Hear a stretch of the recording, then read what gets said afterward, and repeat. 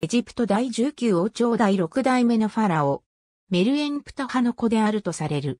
即位名は、ウセルケペルラーセテプエンラー、意味は、ラーのごとく力強き、ラーのごとく、永遠なるもの。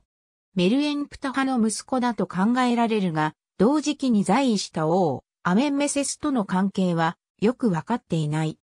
有力な説として考えられるのは、二人は、異母兄弟で、正当な後継者であった兄のセティ2世を差し置いて、アメンメセスが王に即位したとするものである。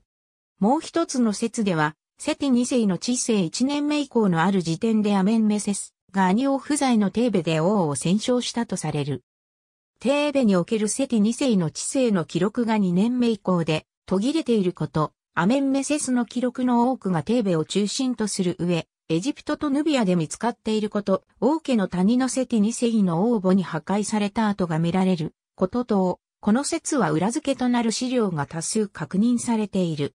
特に、セティ2世即位時に、応募建設を責任者だったネフェルヘテプという人物がアメンメセスの治世中に殺されたとする記録は決定的な証拠とされている。どちらの説が正しいにせよ、アメンメセスの治世は4年ほどで終わった。